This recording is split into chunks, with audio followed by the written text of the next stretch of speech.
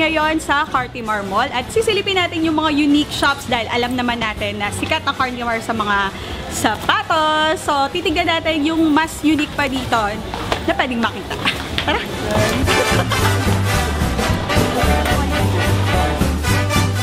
So, dito si Marian Rivera. Siya mag-explain sa atin kung paano ba ginagawa itong mga shirt na, shirt na to or sila ba nagpo-produce or saan galing? Ah, hindi po namin siya piniprint po talaga. Kinukuha po namin siya sa Thailand. Doon po kami kumukuha. Parang nag-wholesale din po kami dun sa Thailand. Tapos po yung mga by brand po kasi yung price po dito eh. Yung The Rocks po, tapos yung Legacy po, 400 po ang retail niya. Pag wholesale naman to, 270.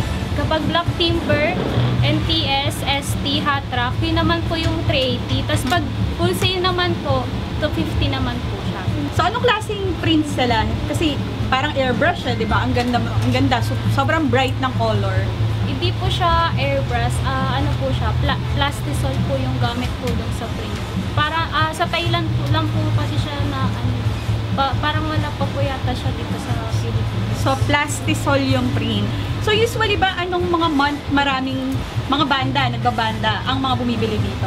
Ah, ngayong month po, mas marami pong bumibili ng Guns N' Roses kasi po may concert po sila ngayong November po. Tsaka malakas po talaga ah, mag wholesale dito kapag darating na po yung December. Ano ba pinaka-weird na customer na pumunta? Ano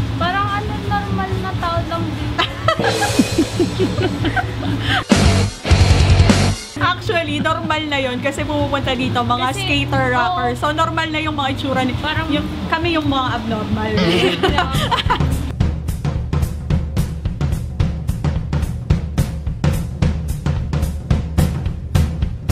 Guys, bago nagsimula ang mga MP3, sa mga iPads, at saka lahat ng klase ng mga music na pwede nyong pakinggan, nauna muna dito ay ang mga vinyl. Kaya nandito tayo ngayon sa Eric Store para tanungin natin kung paano nagsimula at saka bakit nauso ngayon ang mga vinyl.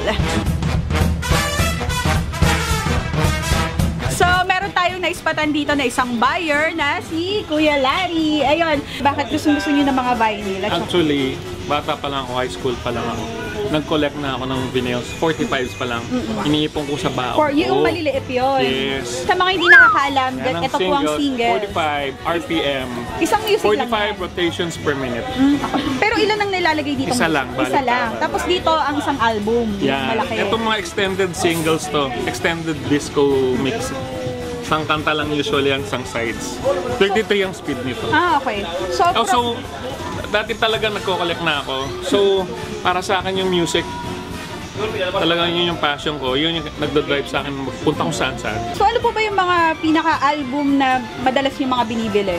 Kung ano yung nagpapaalala sa akin ng memories ko ng high school. Yung Ah, binili syempre, ko. dapat alam mo Katulad yung ngayon, music binili eh. ko yung Dance With Me, Peter Brown. Kasi sinew namin yun ng high school. Hindi ko na alam. Kaya basta research mo sa ano, YouTube. Sige, sa search mo. My.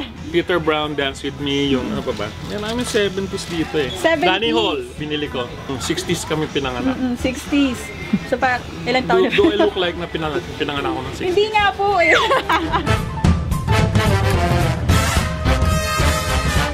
So, kasama natin si Kuya Philip. Philip. So, Kuya Philip, paano ba kayo nag-start dito sa business na to? At saka, anong best interest nyo? Bakit kayo nag, eh, nagtayo ng vinyl shop or mga MP3 kasi? Ah, kasi ito yung passion namin. Siyempre, pag magtatayo kang business, dapat alam mo. Para pag may nagtanong na customer, katulad niya nagtanong, alam na, may explain. Kunyari, passion namin binil, tapos magtatayo ako ng siopaw, hindi pwede. Sigurado magkakamali-mali yung luto nun, di ba? Di ba? ang difference ng music sa MP3 at saka sa vinyl? Ganito, MP3, digital. Ito analog to. Siyempre, mas prepare natin yung analog. Kasi doon, doon ang galing lahat. Tina-transfer lang digital. Pero yung yung pinaka-soul nawawala. Ito kasi may soul. Yung ano, yung yung CD pa, yung CD or MP3 para siyang synthetic siya, parang robot siya na wala siyang kabuhay-buhay. Ito talaga meron. Kasi merong mga millennials, nagtitesting kami sa Makati Square. Sanay talaga siya sa iPhone niya. Yung mapakinggan niya first time yung ano, yung vinyl, sabi niya, parang Randy Dross, napasigaw siya na ako. Nagulat sabi naku, nasira mo yung daw. Na- Napakinggan niya, ang ganda, ang ganda. Sabi, ano, ano ba gusto mo? Gusto niya to. Sabi niya, anong pakiramdam? Sabi niya, sabi niya, parang may soul. Sa bibig niya nang galing yun, hindi ko pa sinasabi ha. Sabi niya, may soul yan. So, sa mga millennials, para may idea sila, magkano yung estimated na makina na ginagamit Ah, para ito, sa ito. Ayan, sige. Unang-una, turntable. Mm, yeah, Siguro to mga 12,000. Amplifier na may kasamang AM, FM. Mm. Pero pag walang AM, FM, ang tawag yan, integrated amplifier. Yung AM, FM po ba yung sa radyo? Oo, yun, ayun, ayun, no? Ayun, nakita mo yung dial na yun? Oo. Receiver yan. Nagkakos yan, mga 20,000 pataas, talo na yung pag-vintage. Pero pag mga OnQ lang na integrated amplifier na may bago naman, it will cost mga 15 to to 17,000 pesos. So, ibig sabihin Brand mga yun. 50,000, 40 to 50,000 Oo, na oo. Tapos, total. Depende pa sa speakers. Kung mga kung mga millennials, okay na sa kanila yung mga bookshelf na mga almost 8,000, 10,000, pwede na yung mga bookshelf. Tawag doon bookshelf kasi maliit lang siya para libro. Mahal din po pala, no? Pero sa mga vinyl naman, magkano naman ang estimated price Ah, nyo? ano, depende. Depende sa album. 300, 200, Pataas. depende. 200 up. Pataas na, oh, 200 Pero sabi nyo, di ba, pag mga 90s, mahal na. Oh, katulad Ah, ko sa'yo, 2,000. cranberries, di ba? Sabi mo, oo. Baga nga hard to find.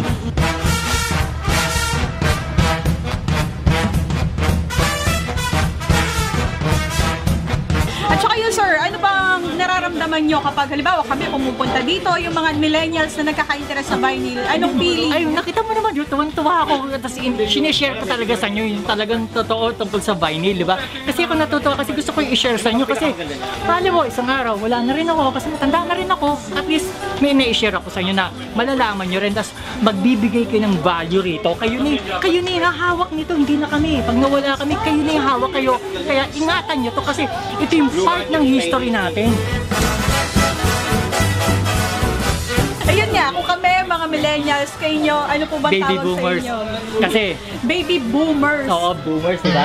Kasi nga yung time na yun, mas maraming na-purchase ng mga bata. Maraming na-purchase yung para yun. ah, tama, tama. Wala, brand diba? out lagi. Oo, yun. Ta- Brano, hindi pa ganun ka-animal ko. Oo, tapos, ta Siyempre, iba yung time yung parang sabi ko, eh, ganun talaga time nila. Sila Moira, wala tayong magagawa. Ganun talaga. Sabi ko, sabi ko na nga doon sa mga iba mga matatanda, pare, walang basagan ng trip. Talagang ganun ang gusto nila. Miski gusto ko kumanta din sa si, si Padilla na, na mga paos. Eh, kasi nga, ano sila eh. Iba in love sila eh. Daniel Padilla. Di ba nga ganun? Di ba nga ganun? Di ba nga ganun? ganun. Di ba?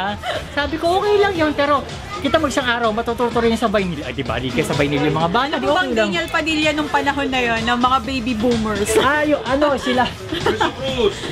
Yung Sayang. Sa si, Cruz. si ano, si Guy and Tip. Yun, number one. Tsaka si B and Bot. Si Vilma, Vilma Vilma. Santos. Vilma Ah, Santos, tsaka si... Bobot Mortiz. Oo, oh, yun.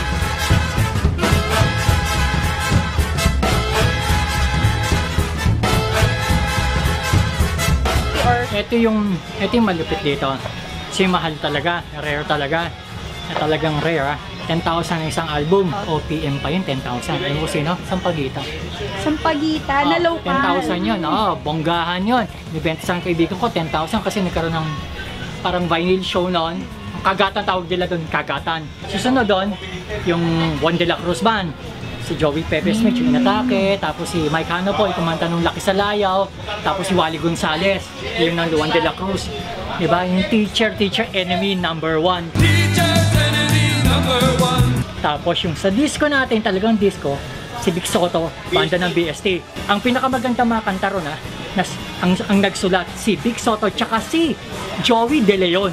Ang tawag doon yung mga boses pusa. Karinig ka ng bo?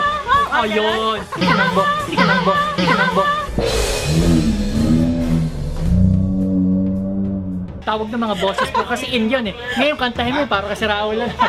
di ba? Baka lapain ka ng aso, di ba? Hindi pwede yun, di ba? Di ba?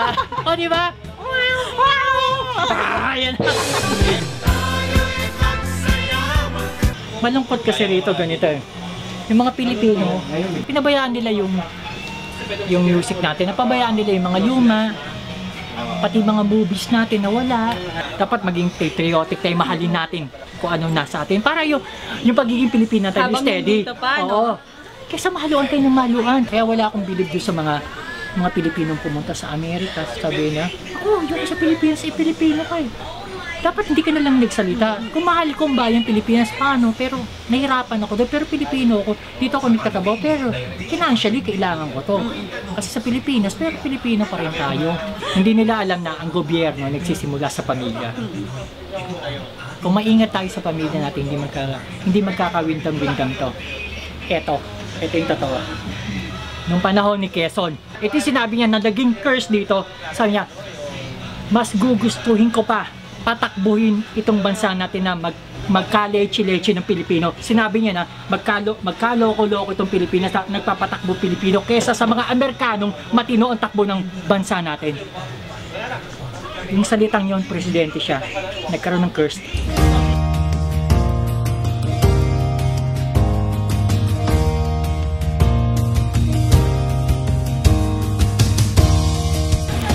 So nakita nyo naman, puro mga music related yung mga napuntahan natin dito. Doon sa mga band shirts, at syempre doon sa mga vinyl. Dami ko natutunan kay Kuya Philip. So huwag nyo kakalimutan mag-subscribe sa aming Brug Wolf Creation channel at syempre sa aming Facebook page. Mag-hit lang kayo ng like and samahan nyo ulit kami sa susunod at hearing here. Thank you! Nagliliwanag sa mundo At isang Ating Isang bansang sumasamba. Kumikilala sa Ama Ang bawat isa'y tinubos malaya